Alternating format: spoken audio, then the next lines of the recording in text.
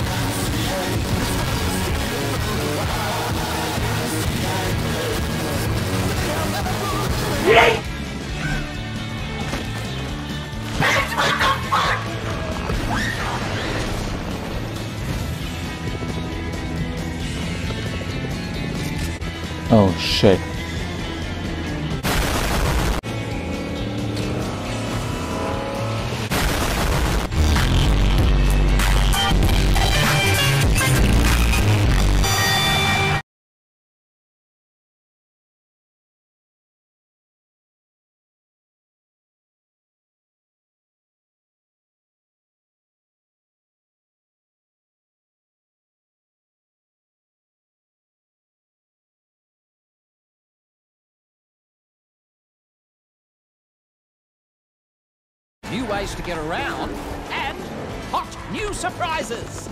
Watch out!